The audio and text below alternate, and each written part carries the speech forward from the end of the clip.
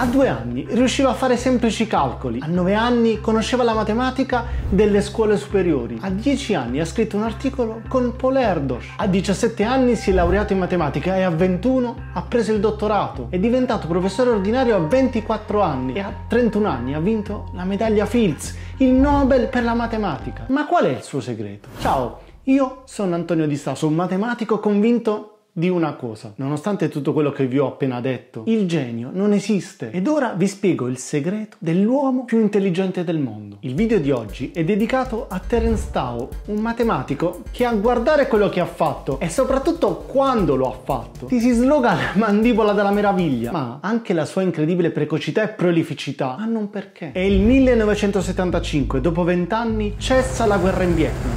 Ad Albuquerque, Paul Allen e Bill Gates fondano Microsoft. In quello stesso anno, dall'altra parte del mondo, ad Adelaide in Australia, nasce Terence Tao. I genitori di Terence Tao sono immigrati da Hong Kong all'Australia. Il padre Terence, Billy Tao, era un pediatra cinese nato a Shanghai. La madre, Grace Leong, è nata ad Hong Kong ed era un insegnante di matematica. E già questo è un grande inizio per scoprire il segreto della sua intelligenza. Un papà pediatra ed una mamma matematica. Sicuramente Terence Tao non partiva svantaggiato. I suoi genitori si sono conosciuti proprio all'Università di Hong Kong. Da lì, da Hong Kong, nel 1972 decisero di migrare in Australia, una terra dal futuro più sicuro e tranquillo rispetto all'ombra cinese che iniziava ad alleggiare su Hong Kong. Terence Tao ha anche due fratelli più giovani di lui, Trevor e Nigel, Entrambi vivono in Australia.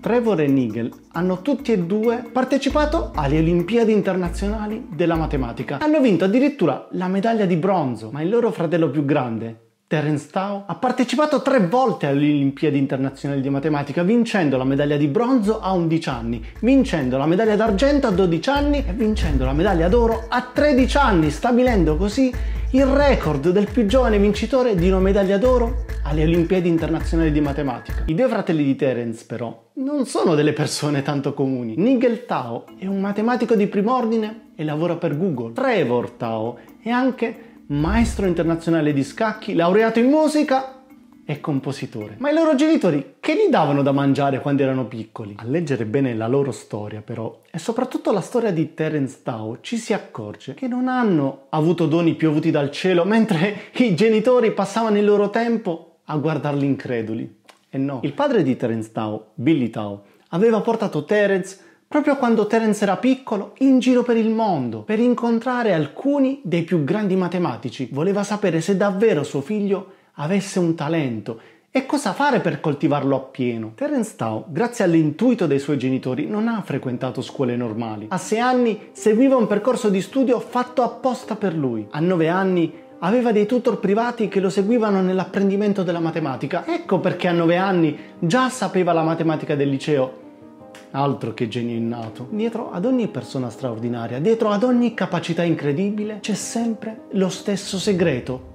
Tanto, ma tanto, eh. Duro e costante lavoro. E se si ha la fortuna di nascere in una famiglia in cui i genitori appoggiano le inclinazioni dei figli, allora si riesce a fare questo duro lavoro al momento giusto ed il gioco è fatto. Uno dei risultati più incredibili di Terence Tao è quello sui numeri primi. I numeri primi sono così elementari e semplici e sono allo stesso tempo così misteriosi. Sembrano imprevedibili, maledetti. Non si sa mai quando accadrà il prossimo. I numeri primi sono allo stesso tempo ordinati e disordinati. I numeri primi sono spesso finiti nel misticismo e nei rituali religiosi. Hanno ispirato opere musicali, opere letterarie. I numeri primi sono il fondamento dell'universo. Per individuare un numero primo serve solo saper fare le divisioni e contare, nient'altro. Eppure abbiamo scoperto profonde connessioni tra i numeri primi e la meccanica quantistica, connessioni che restano inspiegabili. Immaginiamo che esista una civiltà di alieni molto avanzata, sicuramente non parlano italiano, forse non hanno nemmeno la televisione, ma possiamo essere certi che i loro matematici si sono interrogati sui numeri primi. Il lavoro più celebre di Terence Tao è legato alla congettura dei primi gemelli, suggerita dal matematico francese Alphonse de Polignac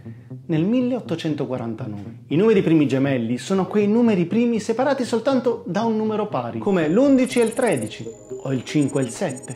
Queste coppie di numeri primi gemelli prima o poi finiscono o sono infinite. Euclide, in una maniera molto astuta, ha dimostrato che tutti i numeri primi, anche se sembrano molti meno dei numeri naturali, sono infiniti. Ma come ha fatto Euclide più di 2300 anni fa a dimostrare una cosa del genere? Euclide, per dimostrare che i numeri primi sono infiniti, ha messo tutto in discussione. A volte un modo di procedere in matematica è proprio questo, mettere tutto in discussione. Ah, se fossimo tutti un po' più matematici, non daremmo sempre tutto per scontato. Euclide si è chiesto, e se i numeri primi fossero finiti, che accade? Vediamolo. Se i numeri primi sono finiti, li posso tutti scrivere in un elenco, belli, tutti in ordine.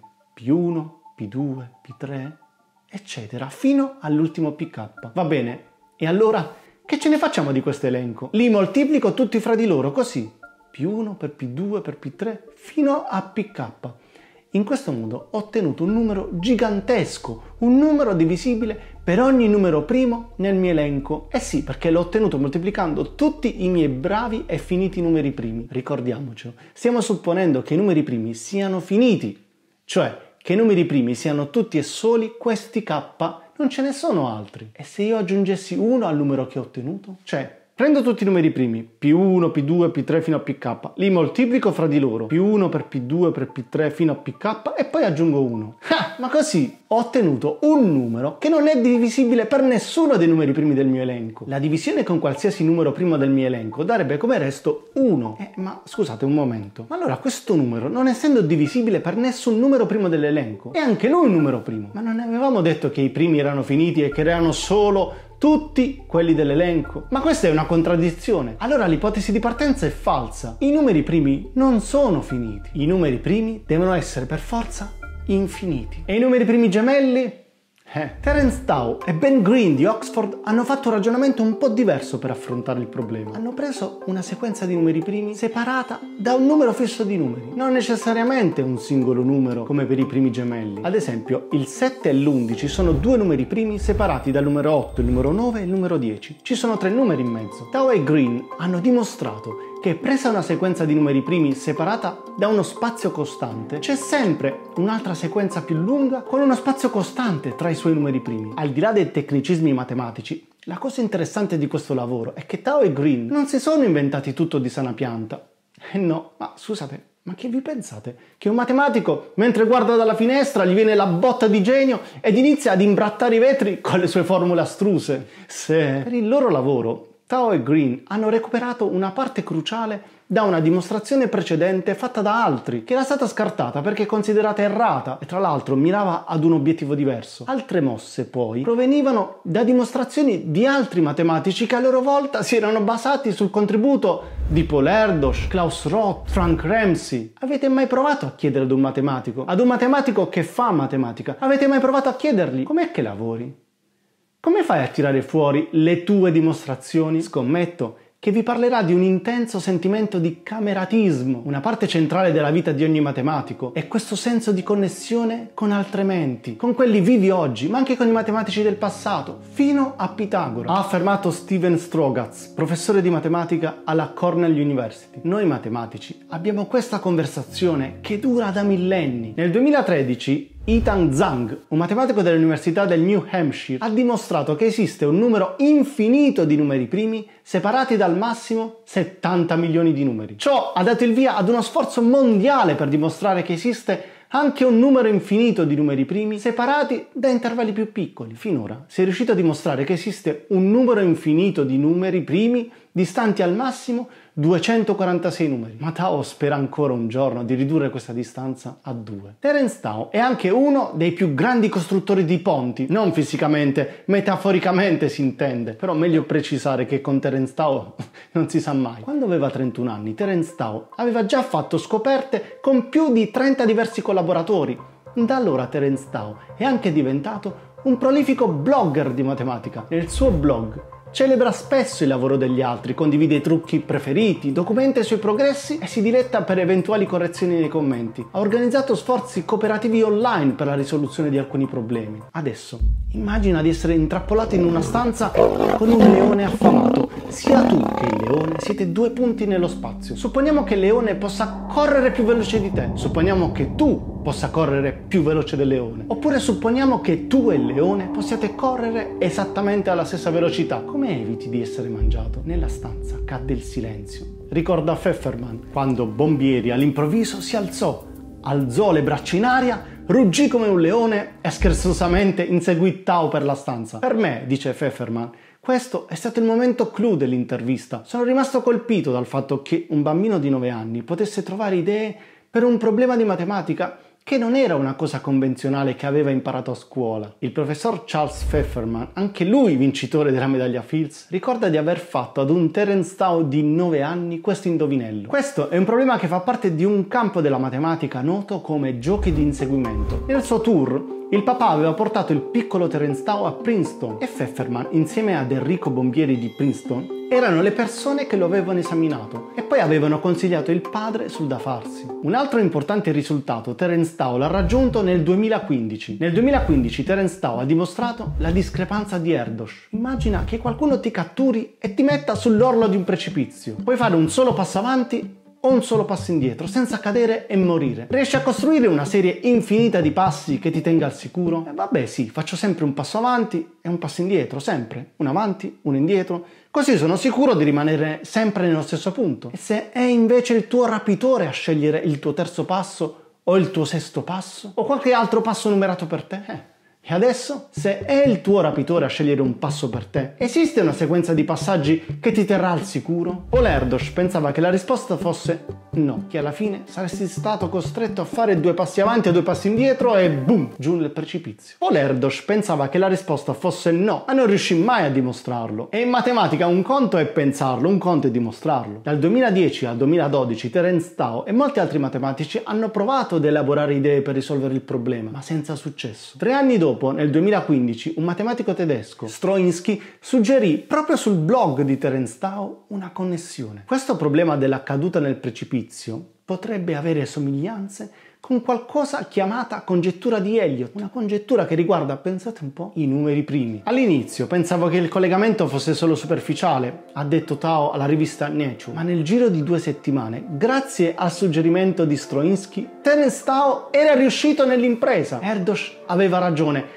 non importa quanti passi ti sono consentiti, se è il tuo rapitore a scegliere un passo, alla fine cadrai nel precipizio. Ma la storia di Terence Tao non è fatta solo di successi, anzi, fino a prima dell'università a Terence Tao tutto era sempre venuto così facile. Era venuto così facile che non aveva sviluppato buone capacità di studio. Quando arrivò il momento di prepararsi per gli esami generali, Tao trascorse solo poche settimane a sfogliare i suoi appunti abbozzati. Gli altri Invece si preparavano per mesi. Durante l'esame orale, Tao se la cavò a malapena. Sono stato molto fortunato, ha detto lo stesso Tao. In seguito il suo professore, Elias Stein, notò diplomaticamente quanto deludente fosse stata la prestazione di Tao. Nel 2004 Emmanuel Candes, un matematico del California Institute of Technology, stava cercando di trovare un modo per ricostruire le immagini riprese da una macchina per la risonanza magnetica con la minima quantità di dati. Per puro caso, i figli di Immanuel Candes e di Terence Tao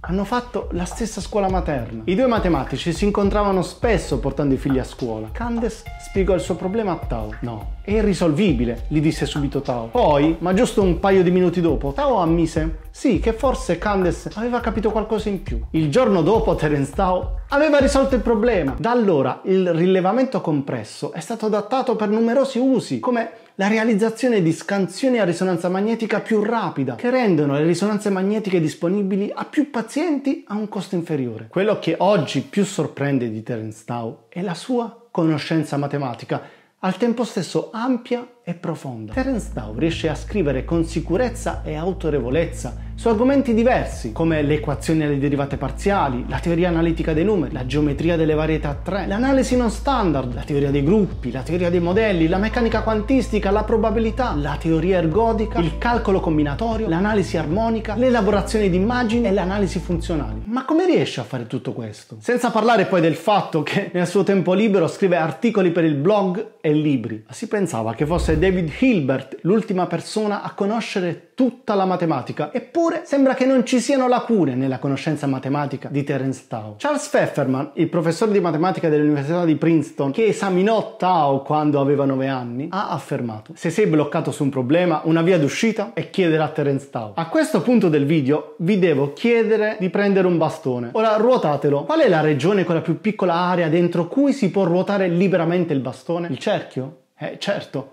Nel cerchio altro che se si può ruotare liberamente il bastone. Però il cerchio non è la regione con la più piccola area. Nel lontano 1917, Soichi Kakeya, un matematico giapponese, ha ipotizzato che possa essere questa, la regione con la più piccola area dentro cui si può ruotare liberamente un bastone. Terence Tao ha compiuto enormi progressi per dimostrarlo, ma ad oggi nessuno ci è ancora riuscito. Un altro problema che ha reso Tao celebre è quello di cui Erdos ha detto: la matematica non è ancora pronta per questo tipo di problemi. Il problema è questo.